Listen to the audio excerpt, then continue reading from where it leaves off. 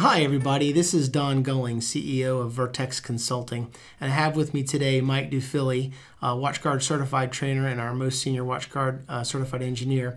We're going to spend some time with you to give a tutorial and a demonstration of how you can use traffic management and rate limiting so you can control how much bandwidth is available for specific kinds of web applications. So, why would you want to do this?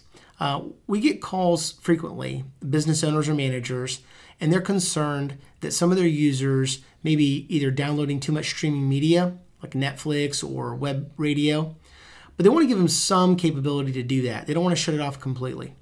So, what you can do in WatchGuard, and what we're going to show you how to do, is set up a rate limiting uh, traffic management policy for streaming media.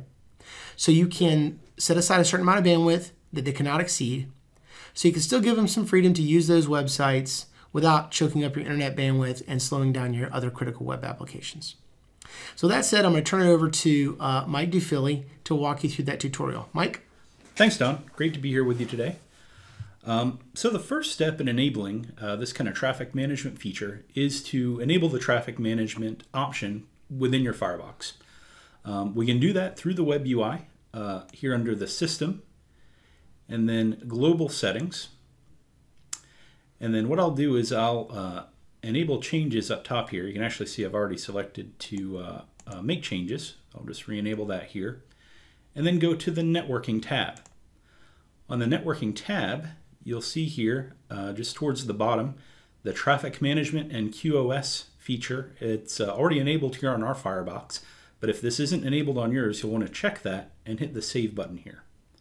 And once you've enabled that feature, you want to set up a new policy that's used to rate limit the connections. Um, we do that under the firewall section of the web UI and traffic management.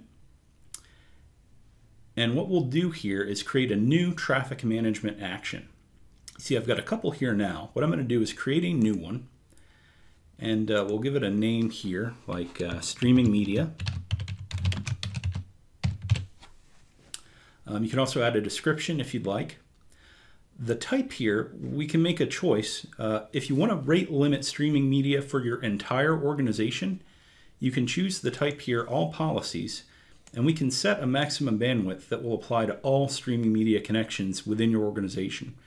So let's say I wanted to limit that to 10 megabits per second for the whole organization. I could set it like that. If instead I wanted to give each user in my organization a limit of bandwidth they can use for streaming media, you can select the per IP address option. And then I would recommend setting that lower, maybe let's say a 1 megabit per second connection, and then save that policy. Now once we save that traffic management action, we're going to want to apply that to a policy. In this case, we're going to use an app control policy. Um, the reason you want to use an app control policy is that it can actually identify that streaming media uh, no matter what protocol it might be coming in on. Um, so to do that, we'll go here to subscription services and then application control. Now, if you already have an app control policy in use that you want to apply this to, you can select it. In our case, I'm going to create a new one with the add button here. Once I hit add, I can then choose to give this a name. I'll select media streaming limit here. And then what we'll do is we'll select the entire streaming category. In this case, you can sort by categories and see that there's a media streaming services category predefined for you in the WatchGuard. And then we'll select everything in this category and choose edit. And now the action we want to apply is going to be our new streaming media traffic management policy. Uh, so that's the one megabit per user that we predefined just a minute ago. Yes. Great, perfect. Now you'll see here under action, it's allowed, but it has the streaming media traffic management action applied. And then we'll save here at the bottom. So now I have an application control action that will limit bandwidth for everything in the media streaming category. And now finally, the final step is to uh, make sure that this application control uh, is applied to the policies on our WatchGuard.